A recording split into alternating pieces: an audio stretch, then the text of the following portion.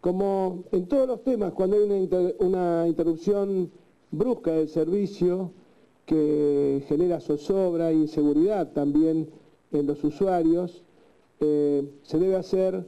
un estudio eh, que contextualice claramente el problema para encontrar no solamente las sanciones, sino también los resarcimientos. Eh, virtualmente habla de la imposición de una multa que obviamente en principio es de 6.075.000 pesos que va a recaudar el Estado Nacional, por un lado, y luego un resarcimiento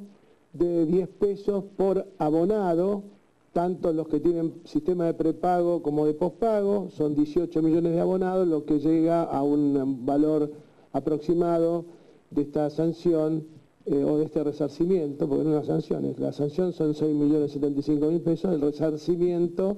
es de 185 millones de pesos a repartir 10 pesos por cada abonado y habla a las claras de la necesidad de imponer ante la suspensión de un servicio tan elemental de una penalidad